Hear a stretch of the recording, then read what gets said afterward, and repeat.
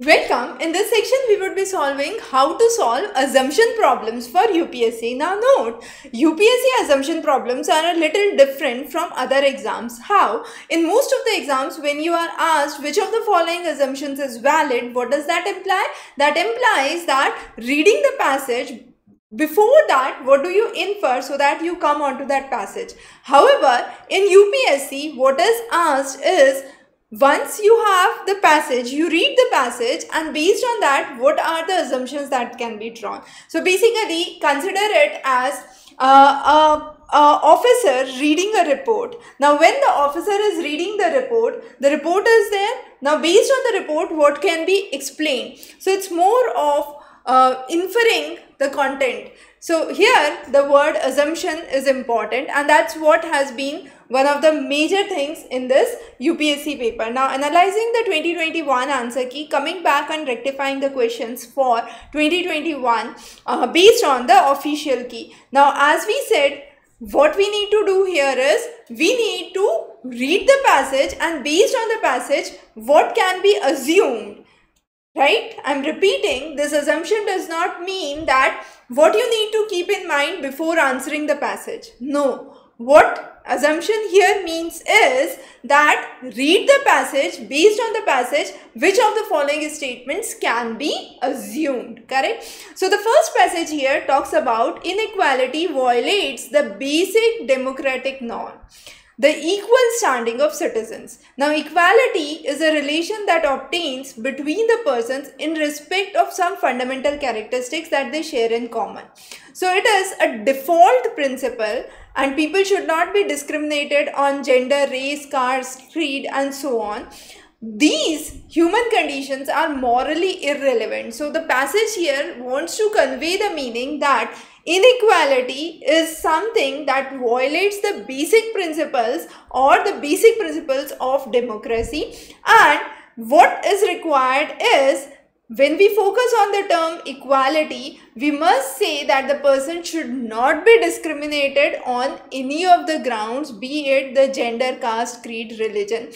The idea that one should treat persons with respect not only because some of these persons possess special features or talents uh, but because persons are human beings. So the main idea is it's not that we are respecting someone because they are extraordinary in certain in certain things but the basic reason is they are human beings and that's the basic uh, thing that can be drawn from the passage. So based on the passage, which of the following assumptions have been made?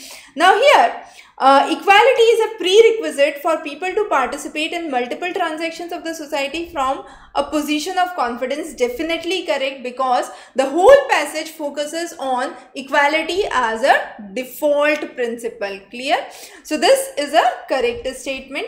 Now occurrence of inequality is detrimental to survival of economy. It's not mentioned that inequality is detrimental. It simply says uh, inequality violates the basics of democratic society, right? So 2 is not a correct option. Then what we need to understand is uh, equal standing of all the citizens is an idea that cannot be realized even in democracy. This is not at all said in the statement. So again, an incorrect statement. The next says the right to equality should be incorporated in our values and day-to-day -day political vocabulary. That's correct and is clear from the first line itself that is inequality violates the basic democratic norm and the basic democratic norm that is the default principle says that uh, everyone should be treated equal. That means right to equality should be incorporated in our values and day-to-day -day political vocabulary. So 1 and 4 are the correct options for this question, right? Coming on to the next question. Policymakers and media have placed the blame for skyrocketing food prices on variety of factors. Now, when media and policymakers say why the food prices are rising, they say it's because of fuel, bad weather, non-food production land and those are some of the reasons. Increased emphasis has been placed on the rise in the demand for the food from most populous emerging economies. Now, it has been say, said that emerging economies have huge demand Nothing has been said about production or crisis. Note, it only focuses on a huge demand from the uh, the emerging economies. And it seems highly probable that mass consumption in these countries could be well poised to create a food crisis right? With reference to the above passage which of the following assumptions can be made? Oil producing countries are one of the reasons for high fuel uh, food prices no, not at all. Uh, it says that if the fuel price rise, then it would have an impact on the food prices. But it does not say that oil producing nations are responsible for it. So that's not the correct option, right?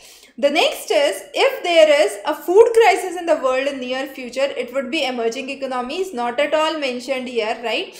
Why it is not at all mentioned here? Because it simply says that when uh, there is a surge in the food demand that would be seen in the populous countries which are the emerging economies. But it does not say that there is a few food crisis in uh, in the near future and that would be in the emerging economies. It simply says that there is higher demand there right? So again one is incorrect two is incorrect. So both of these are not a valid assumption. Now assumption i repeat again based on the passage we are understanding which of the statements are correct okay? The next passage is a very interesting passage about the developmental economics and it says that what is meant by growth in GDP. So the theory says if the GDP increases, right, uh, then the households, community and the government have more funds. So they can make their life better. Their income can grow, right. Today GDP has assumed such a significant place in the development that if someone mentions economic growth, we know they mean growth in GDP. So it simply says that GDP is indicative of growth, right? So the passage has the following assumption. Rising GDP is essential for a country to be a developed country? No. This is not said. Why? It only says that rising GDP is indicative of a growth in the economy. It does not say that the economy would convert into a developed economy. So first is incorrect. Rising GDP guarantees a reasonable distribution of income to all household, not at all mentioned or explained in the passage in any means. It simply says with rising income, people have more fund so they can have a better life. So both uh, 1 and 2 are incorrect. They are not valid assumptions here. Clear? So this was another question that we did. The next question is a very interesting question. This question is about fig tree. Uh, fig is considered as sacred in the countries like India, East Asia, Africa. And uh, where other trees are not present, fig is one of the tree that is found and it provides food for wildlife. So what happens is uh, numerous fruit eating animals survive close to the fig trees.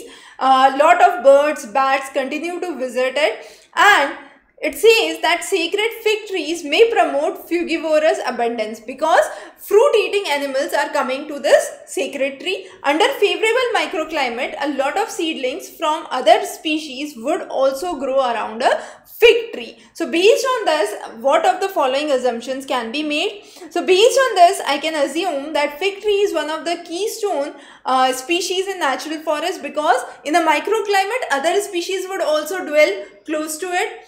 So that is a correct statement. Then fig trees can grow where large woody tree species cannot grow. Now note it says that it can grow where other large trees are absent. It is not talking about woody species. So this is an incorrect option. Sacred trees have a role in biodiversity conservation, correct, because it simply says that sacred fig tree promotes frugivorous abundance, that is fruit eating animals and therefore the biodiversity conservation takes place. So 3 is correct here.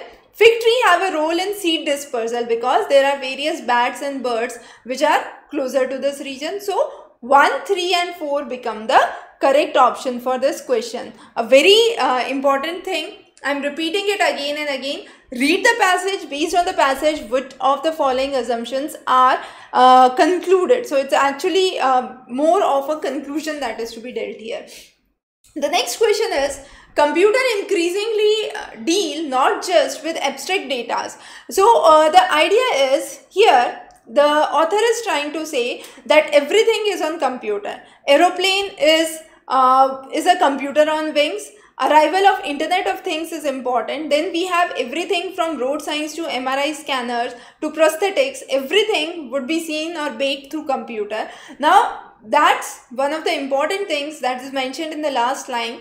Hackers have already proved that they can take remote control of internet con connected cars and pacemakers. That means they the author here is trying to say that computers are not safe. Hackers can actually have control over the computing systems, right? So A becomes the right inference from the passage. Based on the passage, I'm reading the passage, I can infer that it says that with computers, so much things have been done, but still the last line is a crucial line here that says that we understand that hackers can have a control over the cars and the pacemakers indicating that computers are not completely safe right?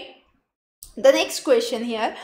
Approximately 80% of all the flowering species are pollinated by animals including birds and mammals but the main pollinators are insects right? So it says the main pollinator is insect and this pollination is responsible for variety of food uh, and medicines to us. One third of the world's agriculture is dependent on pollination. So this passage is focusing on the importance of pollination why pollination is so crucial.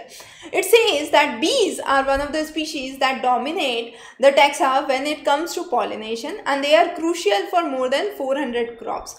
Pollination is an essential service that is a result of relationship between plant and animals and reduction or the loss of either affects the survival of the both right? So this passage focuses on the importance of pollination. Now the first sentence says sustainable now you have to find out the assumption again. The sustainable production in india cereal food grain is impossible without diversity of pollinating. It's nothing said about the the concept of uh, food grains right? Food grains getting impossible. Uh, the next is uh, like uh, it's not focusing the passage is not at all talking about food grains getting impossible right?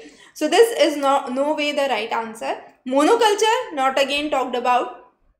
Pollinators become scarce in cultivated area devoid of natural vegetation. That's true because it says that most of the pollinators are around the agriculture crops and uh, they dominate, uh, the bees dominate the region, right? So pollination is essential and such as uh, the effective pollination requires resources such as refuge of pristine natural vegetation. So from the last line we can say 3 is a correct option because they require natural vegetation. So in an area devoid of natural vegetation pollinators would become scarce.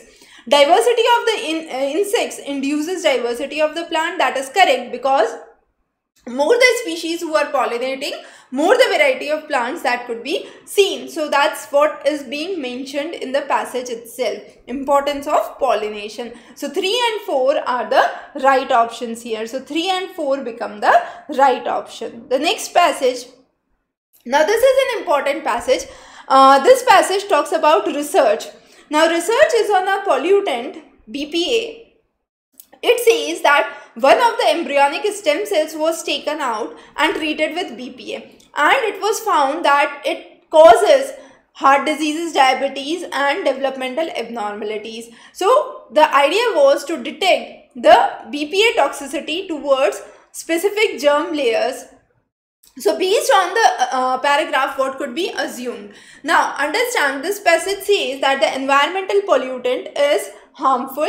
So BPA can alter the embryonic development in vivo. Now let's understand what is in vivo. In vitro means outside, in vivo means inside. So if this is outside, uh, if it, it, in the tissue culture it is possible, so then it would be possible within the uh, body also. So the same mechanism, if the BPA is showing toxicity with the cells, outside in the outside medium it would so show within the body so bpa may alter the embryonic development in vivo that's correct The next is biochemical or cell-based assays are useful in finding out the treatments of the pollution-induced diseases. Now it says that there are pollution-induced diseases as mentioned, but this passage does not talk about treatment at all, right? So 2 is an incorrect option here. The last statement says that embryonic stem cells could serve as a model to evaluate the physiological effects of environmental pollution. That's correct because through the embryonic stem cells we have found out that they have effect uh, they are affected by the environmental pollutants right? So 1 and 3 become the right option in this case. The next question says that in certain case uh, in uh, it is certain that sedation wars like that person said this thing this person that said this thing are breach of laws are not so common uh, to be imputed to the wickedness of the subjects as to the bad state of dominion. So if you read this passage, I'll just convey the idea. This passage is trying to say that uh, sedation wars, that is one person blaming another, another person blaming another, it's not uh, the fault of the people. It's not the wickedness of the people of the country uh, because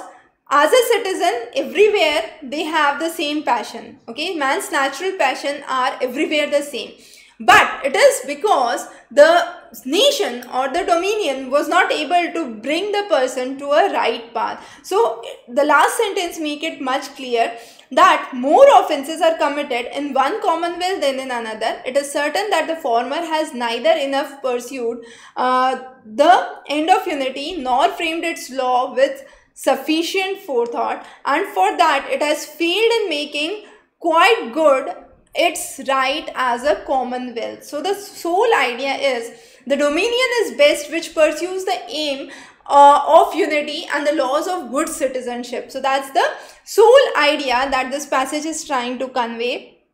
And more importantly, what is being uh, uh, explained in the passage is the fact that the sedation wars, it's we cannot blame that on the public. We cannot blame, blame that on the people. It's ultimately the dominion which which decides whether the people would be wicked or not. So it, it's the dominion which pursues the aim of unity and the law of good citizenship. So C is the right option here. The next passage, a very crucial passage. Now understand the language. Most people would agree that telling lies that telling deliberate lies is wrong, except perhaps in certain situations where more harm would be done by telling the truth. Now here, don't understand that the uh, author is trying to say that uh, most people would agree that willingly, if I am telling a lie, that is wrong.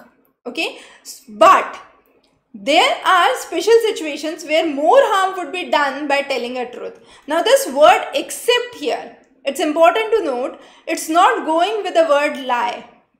It's going with the word agree. Okay. So that's the word that except is going with. So this except does not go with the lie. Okay.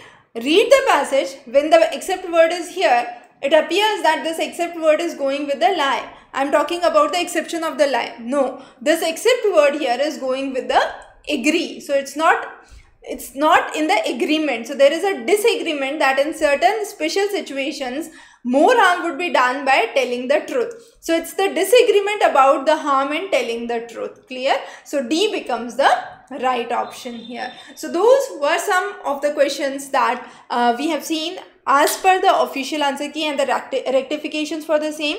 I repeat again what's the most important thing that you need to remember for an assumption problem is while attempting the UPSC paper, I'm specifying that again, uh, consider that you are uh, what an officer would do. So officer would have certain report in hand and based on that report, you would have to find out certain valid assumptions, right? And that is what the word assumption here means. So be very specific when you are solving the CSAT paper 2 questions. The passages are not difficult. Just clean this thought out of the mind that uh, there are reading comprehension questions. These are challenging or uh, these are long uh, sections the passages are really interesting. If you have been reading newspapers editorials this section would uh, become really interesting. And we'll meet tomorrow with answer keys for your gs as well as csat so see you tomorrow. Have a wonderful day ahead